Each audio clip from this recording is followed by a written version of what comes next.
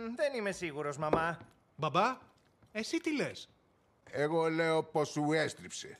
Δεν αφήνουμε σταθερή δουλειά για να κυνηγάμε τρελά όνειρα και το χειρότερο θα πάρεις και τον αδερφό σου στο λαιμό σου. Ευχαριστώ, μπαμπά.